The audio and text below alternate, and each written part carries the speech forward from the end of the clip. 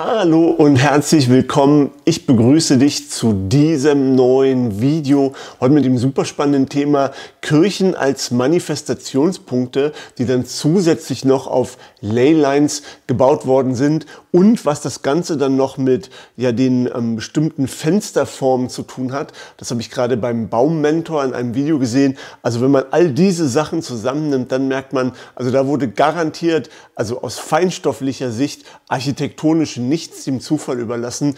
Und das möchte ich dir in diesem Video mal vorstellen. Und ich bin da natürlich auch wieder sehr gespannt auf alle Kommentare und wohin dieses ganze Thema uns alle dann führen wird. Das erste Mal, als ich da wirklich stutzig geworden bin, war beim Dr. Heinrich Kusch, der ja die unterirdischen Gänge in der Steiermark und auch weltweit erforscht hat. Und er hat immer wieder gesagt, na ja, das ist doch interessant, dass auf vielen dieser Zugängen zur Unterwelt, also praktisch die Einstiege in unterirdische Gangsysteme, eigentlich immer eine Kirche, ein Schloss oder halt also ein bestimmter ähm, Sakralbau draufsteht und dass deswegen halt auch manchmal Kirchen fernab der Zivilisation stehen. Also wo er dann halt eben anhand der Karten und auch anhand seines Geobodenradars gemerkt hat, ja, da sind Zugänge nach unten. Ähm, ja, das war schon mal interessant, weil das ja bedeutet, hey, da gab es auf jeden Fall ein Interesse, zumindest die Kontrolle über die Zugänge damals zu haben. Und der Dr. Heinrich Kusch redet ja auch darüber, dass auch ähm, auf, auf Ansinnen der Kirche die meisten Zugänge zur Unterwelt damals zugeschüttet wurden. Also wirklich Meter dick, also auf einer ähm, Länge von vielen Metern mit Tonnen von Geröll wurde das dazugeschüttet. Ähm, ja, und es ist ja auch bis heute noch so. Er legt ja vieles wieder frei, zum Beispiel ähm, die zwölf Apostelzeche wahrscheinlich sein bekanntestes Projekt und ja, macht dann dort Messungen und zeigt halt, was er dort alles findet. Und es ist der helle Wahnsinn. Darum soll es in diesem Video nicht gehen, sondern ähm, um eine ja, ganz, ganz interessante Mail, die genau darauf aufbaut von einem anderen Kai. Also danke Kai an dieser Stelle. Und er schreibt, vor ein paar Jahren haben wir, ich bin nicht alleine, damit beschäftigt, den Verlauf von Energielinien zu berechnen. Ja, das kann man, um gute Manifestationspunkte zu finden. Man könnte sagen, dass an Kreuzungen dieser Energielinien das Universum besonders dünnwandig ist, sodass dies ein guter Platz ist, um mit dem Universum herumzuspielen. Das war unser Ziel.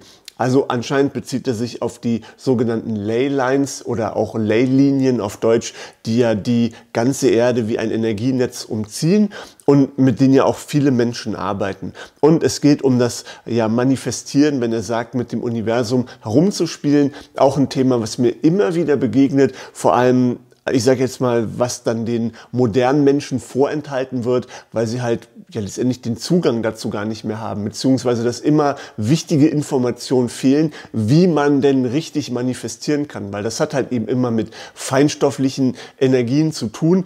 Und ja, wenn man halt eben das nicht versteht oder wenn diese feinstofflichen Energien gar nicht richtig genutzt werden können, dann ja, klappt es halt eben auch nicht richtig mit dem Manifestieren.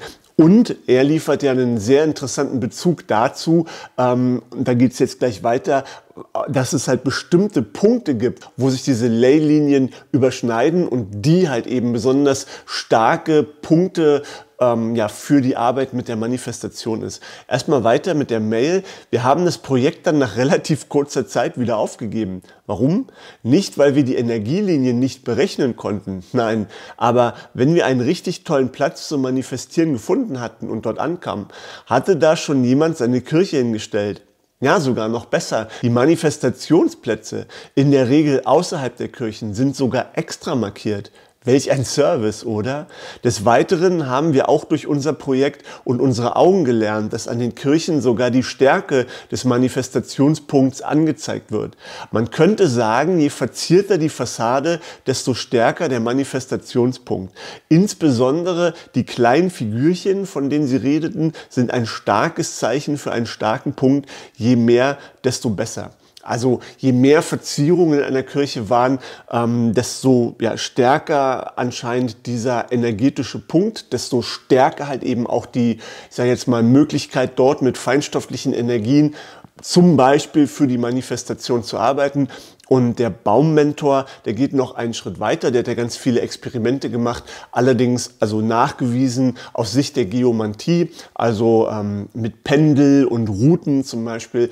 Und der sagt zum Beispiel, dass die die zusätzlichen Verzierungen auf den Dächern und auf den ganzen Giebeln der Kirche, also diese Kugeln und Spitzen, einen ebenfalls ähm, feinstofflichen Effekt haben. Und er also macht dann wirklich Experimente an Pflanzen und zeigt, dass es ja eigentlich in der Regel immer einen ähm, Effekt auf Pflanzen hat und dass halt das, wenn man das dann halt eben in so einer riesigen Architektur verbaut, der halt also ganz klar eben auch zeigt, dass da kein Zufall gewesen ist von den Erbauern. Erstmal vielleicht zu dem Video. Das ist hier die Kirche offen verborgen vor allen Augen, so heißt das Video vom Kanal Baummentor und er zeigt darin die Verbindung von Architektur und Feinstofflichkeit.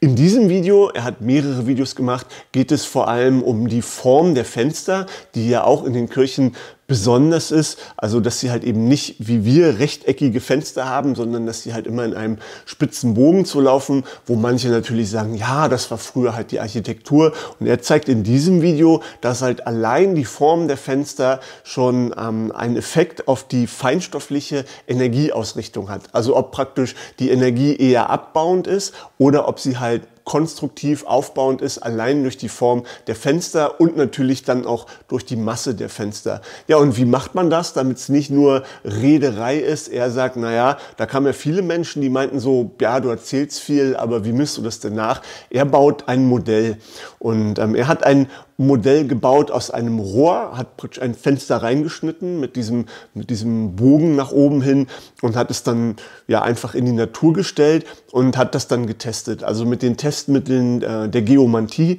wie ich schon gesagt habe, mit Route und Pendel wo dann halt auch einige gesagt haben, ja, das ist unwissenschaftlich, wo er dann halt gesagt hat, hey, dann komm her. Also ich kann dir zeigen, wie gesagt, anhand der Geomantie, und halt auch anhand der Effekte, die Pflanzen, die wachsen dadurch halt einfach besser. Also scheint ja was dran zu sein.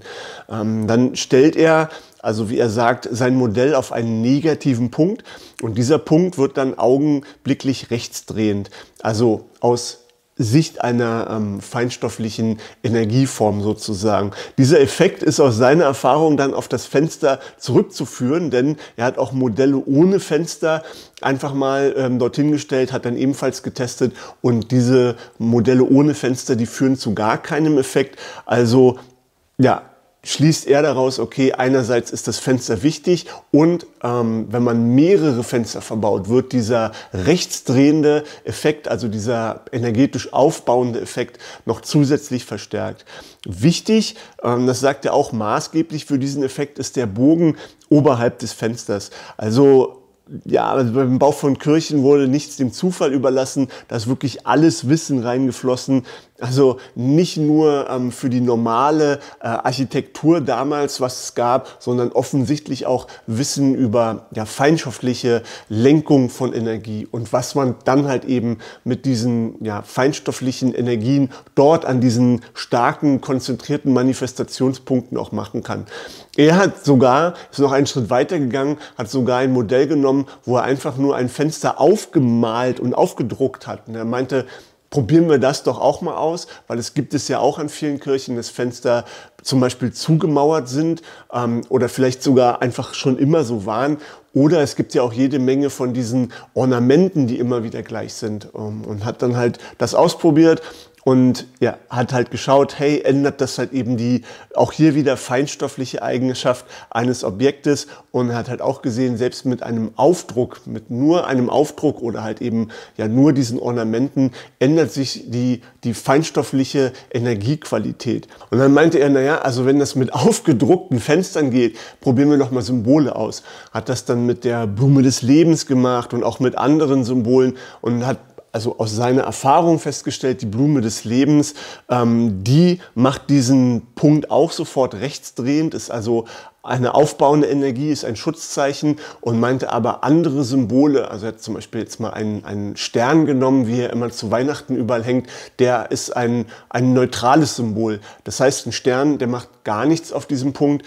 Ähm, und also ist dann im besten Fall neutral, aber er sagt halt, also gerade wenn wir hier in unserer ich sage jetzt mal, ähm, westlichen Kultur so vielen schädlichen Einflüssen ausgesetzt sind ähm, und vielleicht noch nicht mal immer merken, wo wir äh, überall schädlichen Einflüssen ausgesetzt sind, dann macht es natürlich einen Effekt, ob ich mich jetzt mit 100 ähm, Schutzzeichen umgebe, die einen aufbauenden, schützenden Effekt haben oder halt eben 100 Zeichen, die einfach nur neutral sind. Und er meint halt schon, es ist wichtig, sich damit auseinanderzusetzen mm, und ja, es ist halt eben auch interessant, wenn man jetzt mal wieder zurückgeht zu seinem Modell mit den Fenstern, ähm, wie halt genau dieses Wissen beziehungsweise diese diese, diese feinstoffliche Energiequalität komplett aus unserem Leben verschwunden ist.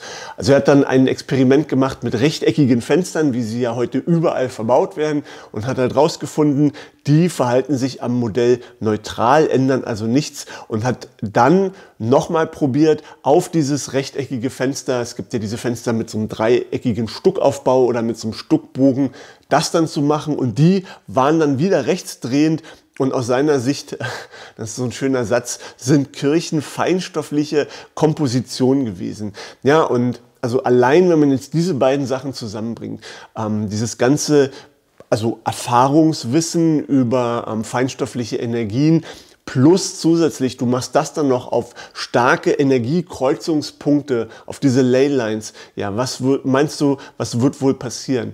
Und also ich habe das selbst schon auch mit ähm, erleben dürfen. Ein Bekannter von mir, der Ingo, der ähm, den Kanal Naturkraftkunde oder eher den Blog naturkraftkunde.de ähm, betreibt, schreibt er auch über seine Erfahrung mit dem war ich hier auch unterwegs und da war es halt ebenso, dass immer auf diesen starken Energielinien ja, Kirchen stehen. Und er meinte auch schon, naja, das, das ist halt eben kein Zufall. Ganz, ganz, ganz interessant. Vielleicht noch einen äh, wirklich interessanten Aspekt auch vom Baummentor. Er sagt, es kommt auf die Ausrichtung an. Also er zeigt hier, ähm, wenn ein, ein, also die Dachausrichtung Süd-Nord oder Ost-West ist und dann halt eben die Fensterform neutral, wie wir es haben, dann kann es halt eine ähm, bestimmte feinstoffliche Energiequalität begünstigen. Und da ist mir was eingefallen. Ähm, also es gibt eine Studienarbeit, die nennt sich Ad Orientem, die Ausrichtung der gotischen Kathedralen in Frankreich. Das ist eine Studienarbeit, die zeigt, dass in Frankreich nahezu alle Sakralbauten Richtung Osten ausgerichtet sind. Ähm, also natürlich mit so ganz kleinen ähm, Winkelabweichungen, aber fast alle Bauten in Frankreich sind nach Osten ausgerichtet, was natürlich bemerkenswert ist. Und auf Stolen History gibt es da auch eine also ganz spannende Diskussion drüber, wo jemand schreibt, also es ist doch interessant zu sehen, wie viele Kathedralen ähm, Richtung Osten ausgerichtet sind.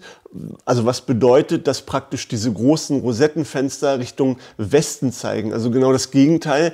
Ähm, und er fragt halt eben auch schon, naja, könnte es sein, dass dort halt eben mit einem, einer gewissen Art von Energie gearbeitet wird. Und dann, und wie gesagt, die Kirchen haben ja immer diese Kreuzausrichtung, sagt der Baummentor auch, wenn du also das schon so stark machst sozusagen, also mit diesen Energien arbeitest und dann halt aber also die Fenster wieder und auch alle anderen ähm, Dinge so einbaust, dass sie halt eben rechtsdrehend sind, dass sie halt diese feinstoffliche Energie, die da also massiv ohnehin schon vorhanden ist, dass die dann halt eben noch in eine gewisse ähm, Richtung gedreht wird, ja, dann hast du halt was, mit dem du ja, auf äh, ganz, ganz spannende Art und Weisen arbeiten kannst. Wie gesagt, ähm, ich bin ganz, ganz gespannt auf deine Kommentare, auf deine Erfahrungen, auf dein weitergehendes Wissen. Ähm, poste das gern unten in die Videokommentare rein, lese ich mir sehr, sehr gerne durch. Ja, und ansonsten wie immer an dieser Stelle vielen, vielen Dank fürs Zuschauen und ja, vielen, vielen Dank auch an alle, die hier mich und meine Arbeit so fleißig unterstützen und ja, wir sehen uns dann in einem meiner anderen Videos wieder. Mach's gut und bis zum nächsten Mal. Ciao, dein Kai Brenner.